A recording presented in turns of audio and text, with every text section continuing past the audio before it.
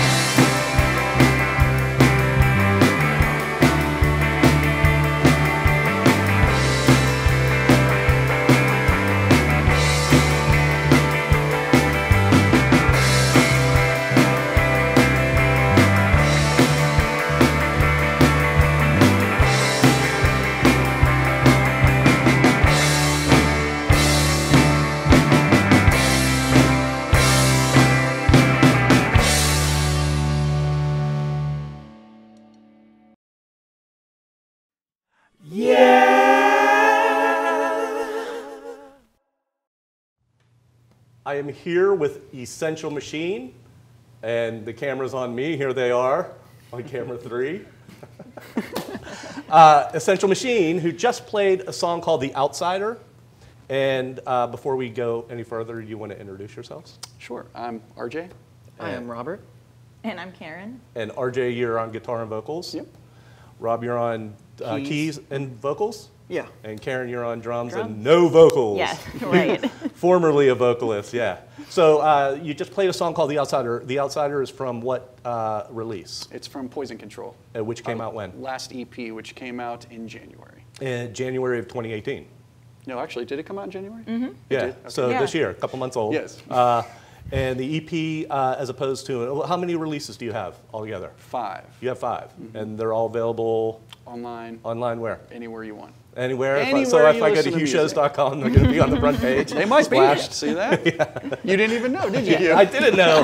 Talk about a hijack. See? Yeah. Now you do. So we can find you. Uh, you have a website, essentialmachine.com, yeah. and Spotify and Apple Music and Bandcamp. SoundCloud, Yep. Bandcamp. what do you prefer? I prefer. I, I just got uh, Spotify for my daughter, Oh, cool. and so I got a premium one. I love it. but- We used to have Spotify, and Mm-hmm. then when we got Apple iPhones, the deal they gave us was a lot less than Spotify. And even though we liked Spotify a little bit more, Apple, this is a few years ago, they've come around, it's a little bit better now. But It- it- Spotify's still- cool, man. They got all the playlists on there and they stuff. didn't give us a deal. We just got yeah. We just got all kind of. I have to talk to John. He was just here too. Yeah, we got the family deal, so we ended up going to Apple Music, and we like it. We listen to it every day. I mean, Cool. Yeah. I It's mean, pretty- uh, uh, Spotify's awesome, and uh, you is. know, not for the artists though. Right. I guess you know that Peter Frampton 150 million uh, streams and he gets a, a grand or something. Crazy. So. Uh, you're a family band. You're uh, married, and this is your son, and Yes. Yep. uh, that's awesome. Like, uh, did you f- like? I have kids, and they play uh, music, but I never forced it on them. It was just attrition. Like, you never like, Rob, you got to do this, or did they? No, you can tell us now. yeah. No, it definitely wasn't. I was definitely into music at, at a young age. So, and whenever they started playing music together, you know, once I was old enough to, to, to do stuff, I was kind of like, hey, like, I want to like So how old were stuff. you? I was like 13, 14, whenever I first Yeah. played out my first few yeah, shows 13. with you guys. Yeah. Yeah, 'cause it was really about four years ago that he really, he kind of, he worked his way in. And at first it was just maybe like coming up for a song or two. Yeah, Okay. like some organ sounds Yeah. and stuff. Yeah, and then it just kind of organically just happened that it was like, well, I remember we were getting picture, we were going to do some pictures for the band, and we were like, well, Robert needs to be in the pictures because he's like in the band now. Yeah, you know? yeah, yeah. and so that kind of made it official. Yeah, when he was. And it's funny, I just told you, uh, it popped up on my Facebook uh, memories today was the picture of you at uh, IDES. Yeah. And so that was four years ago. Yeah. That's amazing, yeah. It's incredible. So- it was that long ago. right? yeah, isn't it? Time flies. Doesn't feel like Mm-hmm. that. Yeah. So uh, you're definitely in the band now, and uh, you're still in high school? Yeah, I'm going into my senior year. Nice. So is my daughter. Right on. Yeah. Where you go? And you live in Greensburg, correct? Yeah. And so what's is it called Greensburg High School? or- Greensburg, Salem. Okay. Yeah. Okay. Yeah. Greensburg Salem. Didn't they name that after a cigarette? or Winston Salem. Well, Salem, uh, we merged with like some town called Salem, Salem, that's Township. yeah. Oh, okay. ways away. Okay. now it's I- both. uh, but uh, did- did- am I correct? Winston Salem. Do you ever hear of that? Yeah. yeah. And isn't that what It's in North happened? Carolina. That's where all the cigarettes are made. Oh, okay. Yeah, it's a town. No, but is is the high school near here? Yeah. I mean, we're going off topic, but what I what I heard was the kids were like, "Hey, the students get to name the school," and so they all smoked cigarettes, so they called it Winston Salem. I don't think so. I don't No? I know. don't know. Oh, we're I'm gonna- gonna have to look into that. Yeah, I'm gonna look into that. So, and uh, how long have you been playing and writing and? uh, I've been. I started playing guitar when I was 13, and Okay. it was basically because I wanted to be in a band. I had been taking piano for a couple of years. I'd started playing piano when I was about 11, but I was playing classical piano, and I really was interested in writing songs. Mm-hmm. And I tried a little bit on the piano, but it really didn't feel as natural. And I, you know, all my rock star idols were all playing guitar and singing, you know, and stuff. So Yeah. I wanted to start a band, so I grabbed my dad's electric guitar and started, you know, Jamming out. learning some chords. Yeah. and, you know, doing the Three thing. chords and the truth. And Exactly. uh, are talking Greensburg or do you, where'd This you? is in Florida. I'm, I'm from Florida. I was born and raised in, in Naples, Florida. Naples, Florida, and Yeah, wh- the what? armpit of the uh, world. what? The what? The armpit of the world. I thought that was Carnegie. You haven't been to Sa- Naples yeah, yet. right, right. Take a drive. I'm only kidding. I'm- might be showing the movie at Yeah. Carnegie. Carnegie's lovely. Uh, but uh, what made you move to Pitts- or Pennsylvania? Oh, send that over to Karen. Yeah, it was me. I, I brought him up here because, well, I'm from the area originally. I grew up in Fayette County. And Okay. so when I graduated from college, I went to Pitt Greensburg. And um, my sister lived in Florida. I have an older sister who was down there. So when I graduated, I just wanted to get out of the area. You know, I just wanted to leave PA. And the only person I knew that lived in another state was down in Florida. So I actually moved to the Tampa St. Pete area.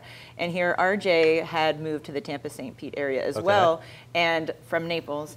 And so we ended up meeting at work there. We worked for a credit card company, um, answering the phones. and that's so it was the worst. It was definitely not the or just answering. incoming Answering. calls. Ah. Yeah, so it was customer service, but Yeah. it was the you know, it was not always like the happy customer service stuff. It was like the the complaints and all that Right, sort of right, thing. right. And so, and that's where we met, and you know, obviously got together, and then this guy showed up, and then um, in 2007 we just decided to move. Well, I, I always say we decided to move back up. It was me moving back up. I was bringing them up here for the first time, but we just decided to come up and be back in the area and be closer to my family, and also just just to be closer.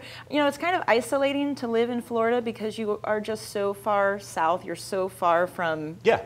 No matter where even you go, you're Georgia in is like a you know Yeah. four to five hour drive away, and and we always thought, well, it would you know so many more opportunities if we were up here to maybe see Mm-hmm. more things and maybe travel. And for the music, I mean, it's been absolutely incredible. It's like the best thing we could have done Yeah. coming up to the I mean, Pittsburgh area to be matters. musicians. So Absolutely. Be and, and- happier. And, not only Pittsburgh, but even Greensburg. Uh, my last show, I had uh, Leanna from Diamond Oh, Shapes. yes, of Oh, yeah. And her and Matt were on, and she's from Greensburg. But yeah, Yeah. yeah Greensburg is like the the the the little sister or Mm-hmm. of uh, Pittsburgh. But there's a thriving music scene there. Yeah. Yeah, I mean, Mm-hmm. it's amazing.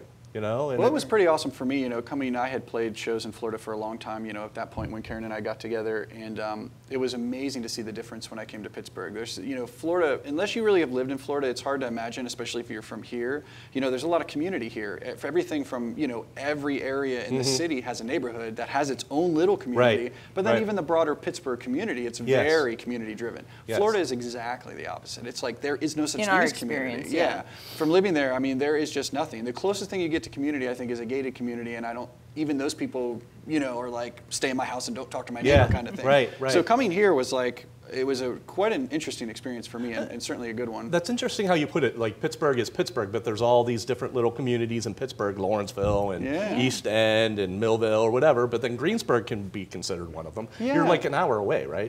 That's it. Yeah. and it's really nice because the Pittsburgh music scene is, is, is so welcoming. It's such Yeah. a wonderful thing to, you know, be able to be a part of it. it really Absolutely. And Yeah. No, it's so much fun. It is. and I'm we, having a blast. We really love it. Yeah, good. So uh, we were going to touch on the fact that uh, you are an author as well. Like before we do that, who writes the songs and who writes the lyrics and how does It's a that work? collaborative process at this point. I mean, Karen and I have always written the songs together forever, and um, Because it started just the yeah, I Yeah, mean, it 'cause it started, started just, just the two the- of us. I mean, RJ's been writing songs, you know, before that he was in other bands when he was younger and would write some things by himself. But then when we moved up here, he and I started collaborating on the songwriting, Uh-huh. and then. Um, I don't know. Our process has probably changed a bit over the years, but it's still pretty yeah, much. I think it's generally the same, but it's nice because team now as a band, especially with arrangements, and everyone writes their own parts. I mean, with some input, you know, all around. But you know, Robert writes his own bass lines and lead lines, and Karen writes the drums and lyrics, and we work on stuff collaboratively, which is which has really been a great process. I think it's helping us expand some of the songs, and we Mm-hmm. work on the arrangements together. You know, we all get in a room, and maybe I've worked on a part, or I've have a guitar part, or maybe a chorus, and Karen will have some lyrics to send me, or I've come up with some lyrics, and then Karen's like, oh, I can help you with this, and so it's very collaborative. Yeah, we awesome. even have like we'll have like some jam sessions and just like oh like this is a really great concept for a song like this chord progression or this lead line or whatever Mm-hmm. and then it just sort of evolves into a full song from Yeah, there. Yeah, Robert's even been coming up with even most, you know, more formed songs to bring to the band, whereas before it was mostly me and Karen, and now Robert's actually bringing parts to the band too that are like, you know, the basis of a Yeah, song. who needs these two? Yeah, right. Well, that's what we're worried about. We're, we're know, afraid that eventually he's going to outgrow you got us. one more year, and then you're gonna dip on us. Huh? That's Is right. that the It's like, plan? Thanks for the help later. Yeah. See ya. Deuces, peace. Uh, so let's touch on uh, the authorship. So you're an author and you have one book. Yes, yes. Actually, well, I, I, I was a poet first. Okay. Um, and studied poetry and went to graduate school and, you know, had a few small poetry books published. And then I had a memoir published in 2013. Um, and now I recently just had my first novel accepted for publication. It's going to be coming out in early 2020 um, from Grand Central Publishing. So it's a psychological thriller. Um, so I think when I'm kind of, I'm, I'm, I'm sort of um, considering myself more of a novelist now. I think that's the genre I'm going to That's stick with. But Yeah, no, it took that's me a while to get there. How long does it, how long would it take to write a novel? Um, I worked on this one for about four years, Yeah. and it wasn't necessarily like nonstop. You know, I mean, I have day jobs and Yeah, the band and all kinds of other things Right. going on too. But um, but yeah, it took about four years to to develop this particular book. Hopefully, it won't take me as long for the next one. Do you, um, so is it done? And you're just like, we, we need another year and a half just to, Yeah, well, I'm going to be um, I'm going to be through the fall, um, through the end of 2018. I'll be working on some revisions with my editors at Grand Central, Uh-huh. and then in 2019 it'll basically be pre-publication stuff and working on publicity and the launch and all that kind of stuff. And then they're hoping for it to come out in like February slash March 2020, but we don't know exactly yet. is like the dream or goal to be like, hey, you know, I, work on this music business a little bit, but like, could you picture yourself as a novelist full time? Well, I I mean, I, I, I want to be a full-time writer and musician, Yeah, so yeah. Um, I would never No, no, give up uh, the yeah, music yeah. stuff. But yeah, but if I could have, if I could get rid of all of my uh, miscellaneous sort of Right, other right. gigs and just be writing and making music, then yeah, that's the that's the goal. And the, and the, the dream. band progressing is just at a pace, like, a, not leisurely, but like when it comes, right? Like you, Yeah. you create music and you get invited to be on low budget TV shows. Yeah. You know, why not? So, yeah, uh, we're, it's, yeah. it's a, you know it's, it's always you know the good thing is, is everybody's enjoying it. So you know we work on it a lot, but it's mostly because we love doing it. You know? Right. So Yeah. as long as that's the case, you know, it's, what, what else can you That's, ask for? that's exactly why I do this. Yeah. You know what I mean? I hear it's ya. like a passion and it's fun and I Mm-hmm. love doing it. And when it gets to be a drag, later. time, to, time to change some things around. Yeah, yeah, yeah. So I appreciate you coming on. You're playing two more songs. Uh, the other two songs, are they off the EP as well? They are new. One of which we just finished recording with Jake Hanner and um, The War. And Okay. so that's going to come out as a single maybe in the next month or two. Um, and then we're actually recording some more songs with him too. Um, actually, the Wasted, maybe one of the next ones we actually. So Wasted isn't even recorded It's yet. It's not even recorded yet. Nice. And have you played? You played it out live. We've been playing it yeah, live. it's been in our Yeah. set for a little while. Yeah. yeah, But Jake's the best. Jake's awesome. He's really yeah. Yeah. Yeah, he's yeah. We like- love working with him. yeah, and he's still up in uh, up Route 8. Yep. Yeah, Yeah, I, I don't know the there town. Gibsonia. Gibsonia, yeah, yeah. Yeah. And, and the yeah, I, I love Jake. Yeah, yeah, he's he's got a awesome. great studio. Cool. Well, thanks so much, and we're going to listen to two more songs, and I so appreciate you coming. Great. Thanks Yeah, for having Yeah, us. thank Really you. Thank you awesome. so much. Thank Right on. So we're going to hear the wall coming up. No, the The war. War. The war. the wall. Why do I have that on my brain? Pink Floyd. The war. said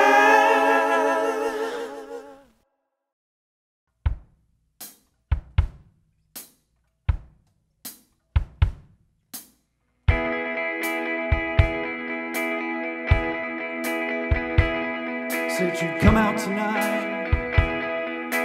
Quietly folded the birth of a fight. But your tense tied down,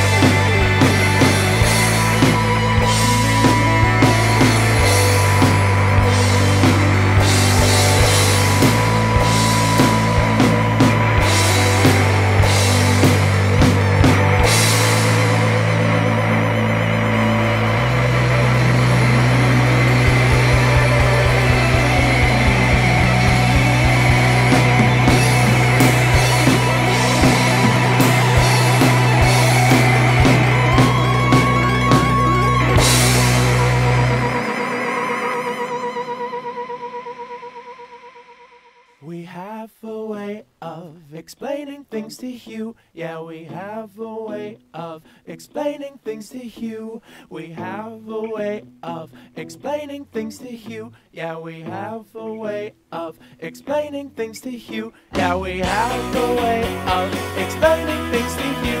Yeah, we have a way of explaining